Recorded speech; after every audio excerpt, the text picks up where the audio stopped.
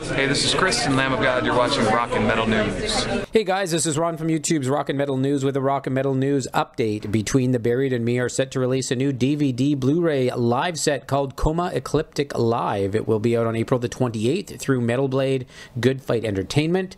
The set includes a live performance of Coma Ecliptic album when they played October the 4th, 2016 at the Observatory in North Park in San Diego, California. You can pre-order it in the link in the description and check out the video trailer in the description of the video. This is Ron from YouTube's Rock and Metal News. Thanks for tuning in.